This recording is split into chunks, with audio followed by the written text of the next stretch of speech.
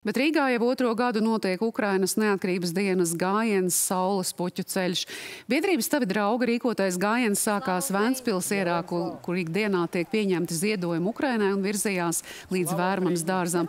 Pa ceļam gājiena dalībnieki kļuva arvien vairāk. Uz vietas varēja sastapt ne tikai Latvijas iedzīvotājs, bet arī daudz ukraiņu.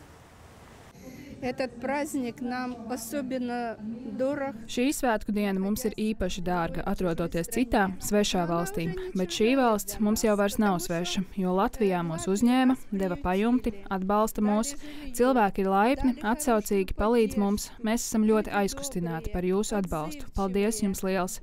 Tā kā mēs Latvijā svinam šos svētkus. Мы очень тронуты вашей заботой. Спасибо большое. Так что мы и в Латвии отмечаем этот праздник.